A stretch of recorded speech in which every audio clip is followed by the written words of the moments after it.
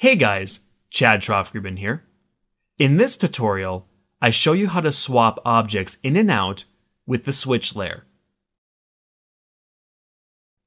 As I have mentioned in previous tutorials, I come from a Flash background. So starting Anime Studio required a bit of adjustment for me. However, I soon realized that Flash and Anime Studio do have a lot of similarities.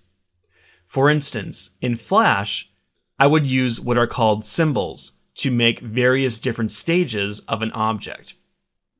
In Anime Studio, you can do the same with a switch layer. And in some cases, the switch layer makes things a lot easier. So let's see what the switch layer does by starting with a simple example. Make sure you have a new document open, and let's grab the shape tool.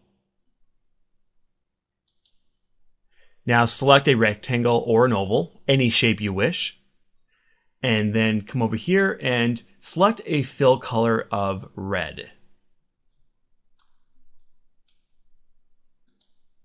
and the stroke color can be whatever you wish. Now let's just come onto the stage and just draw out an oval. Now let's say I want to have the same exact oval, but I want it to be a different color, and I want to use this in my animation. At one point in the animation, I want it to quickly change to a different color. Well, first, let's duplicate this layer.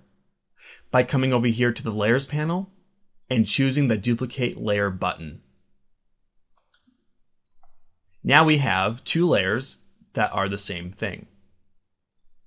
Let's hide layer 1 by choosing this icon right here, the eyeballs. Then select layer 2. Come over here to the select shape tool and just click the shape and then change the fill color to something else, like green. So now we have those two shapes in the exact same spot. So how do we swap them in and out? Well, this is where we create a switch layer. So go to your layers panel and go to the new layer button and choose switch. Now click on the bottom layer hold in shift and click the second layer, the one that has your other oval, and just drag those two layers underneath the switch layer. Now, with the switch layer, only one of these two objects will be shown at any given time. And you can adjust this by simply right clicking on the switch layer and choosing which layer you want to display. To make this easier, we may want to rename these layers. So I'll rename layer 1 by double clicking to red and layer 2 to green. So now you can choose between red or green whenever you wish. And that's the one that will be displayed. Now, as far as animation is concerned, let's say you're out on the timeline so let's say you start on frame one with red. And as you continue along, let's say on frame 30, you want green.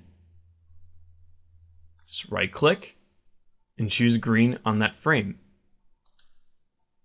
And as you can see, the timeline puts those keyframes in. You're at red to a certain point, and then when you hit frame 30, it turns green.